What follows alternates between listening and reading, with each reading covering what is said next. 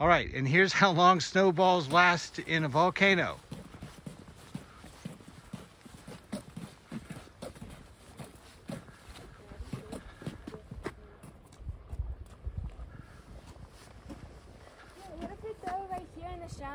What's the answer? I don't think they last very long.